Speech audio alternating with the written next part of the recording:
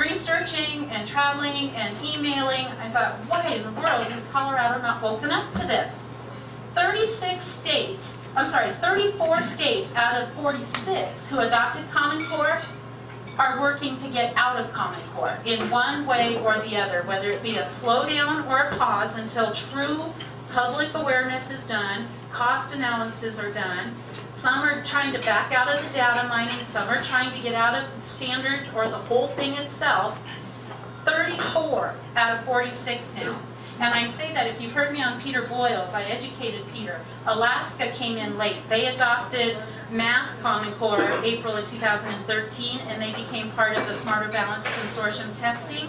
And now, less than nine months later, they are, are writing, trying to write legislation to back out of Common Core. We are also asking for a task force to be developed so that we can evaluate the assessment test the cost, a, a thorough cost analysis for Colorado because when we get into the testing portion, I'm going to explain to you how this is going to be the demise of many, many districts financially. We are working really hard with legislation to get PARCC stopped until we can do a thorough evaluation. I want it repealed, but we know we're not going to get it repealed this year.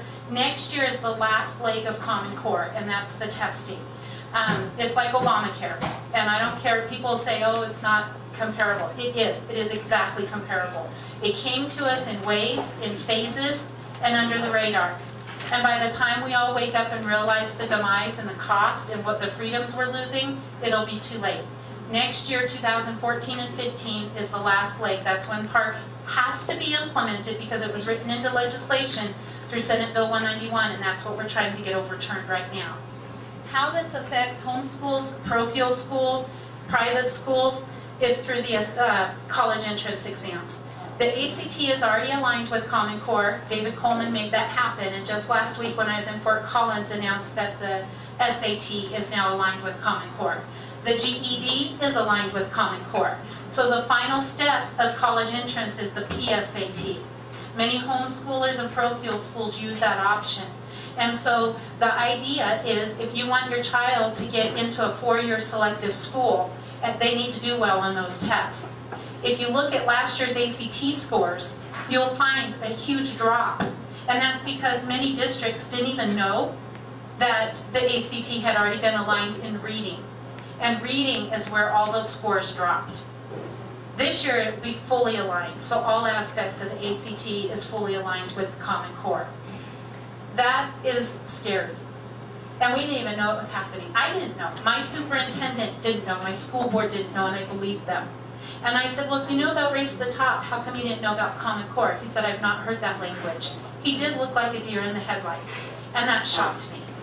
So when your district tells you we still have autonomy over our curriculum, they do, but this is what the CDE tells them.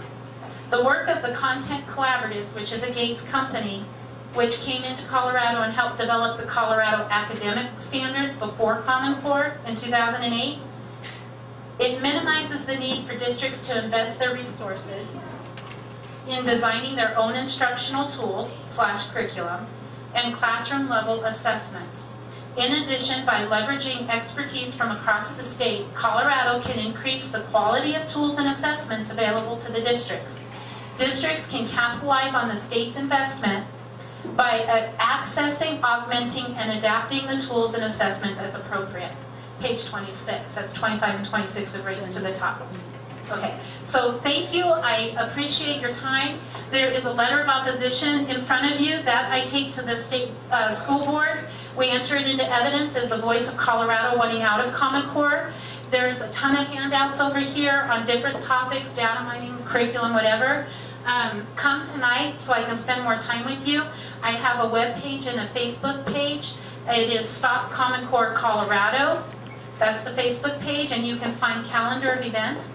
We have a National Protest Common Core Day, April 5th. It's Saturday at noon. This is going nationwide. And uh, right now, the place is to be determined. We're hoping to get the capital, and I'll know today if we did get that slot. So please come tonight, call me, email me. I'd love to spend some time if you have further questions.